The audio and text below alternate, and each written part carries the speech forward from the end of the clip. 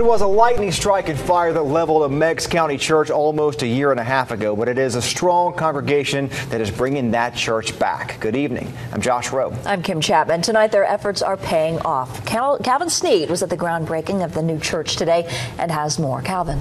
Kim, Josh, it was a rainy, chilly night almost a year and a half ago when the congregation of the Grace Independent Baptist Church got the phone call from a next door neighbor that would change their lives forever.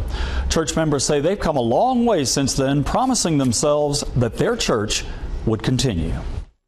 Reverend Joe Andrews says the fire that consumed the Grace Independent Baptist Church north of Decatur was numbing. Hardest thing I've ever seen is when the roof went to the floor and then we watched the floor go to the basement. A fire in the overnight hours of April 29, 2014 destroyed the church, where many sermons, baptisms, weddings, and celebrations took place. Well, there was just so many memories, you know. Garland Langford was Meigs County mayor back then. He remembers when Reverend Andrew came to see him. He said, I'm looking for a home. I said, well, any county building that we can find and make available to you will be made available. For months, a county building served the congregation. And I think the church family has grown closer together, the ones that still at the church.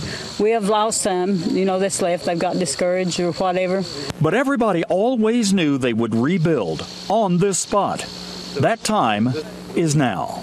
We're going to be in the building cheaper than what we was expecting originally. So God, God's good. The new church building to be built here will be about the same size as the old one. A new building with new memories to make. Out of the ashes, a new beginning.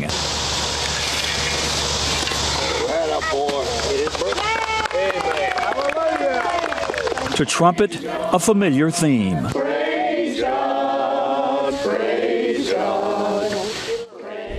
Reverend Andrews says the building contractor will start work in the next couple of days. He says in six to eight weeks, the congregation of the Grace Independent Baptist Church will be in their new home. Kim?